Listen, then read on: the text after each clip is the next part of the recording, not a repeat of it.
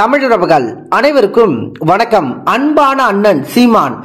துணிவு பட இயக்குனர் கொடுத்த பேட்டி. இந்த தலைப்புல தான் இந்த காணொலி நம்ம பேச அதாவதுங்க சமீபத்தில் வெள்ளி மலை இசை வெளியீட்டு விழாவில் அண்ணன் சீமான் அவர்கள் கலந்து கொண்டு பேசியிருந்தாருங்க. அந்த மேடையில துணிவு பட இயக்குனர் தனது பெயருக்கு முன்பு ஆங்கிலத்தை பயன்படுத்தியிருந்தாரு.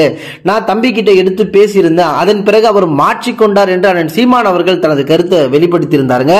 இது குறித்து துணிவு பட இயக்குனர் வினோத் அவர்களிடம் கேட்கப்பட்ட கேள்விக்கு அவர் என்ன பதில் சொல்லியிருக்காருன்னா ஆம் அண்ணன் சீமான் அவர்கள் சொல்லியது உண்மைதான்.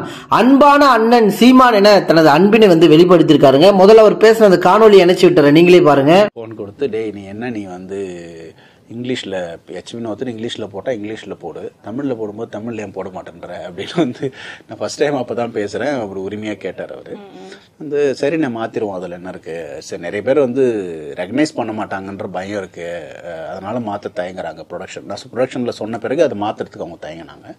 அப்படின்னு சொல்லும்போது அவர் வந்து சொன்னா யாரா அவன் சொன்னவன்? நான் பேசுகிறேன் தமிழில் போட்டு புரியாத ரெகனைஸ் பண்ணாதே அவன்டா இருப்பான் அப்படின்னு சொல்லி அவர் அவர் ரொம்ப அன்பான அண்ணன்.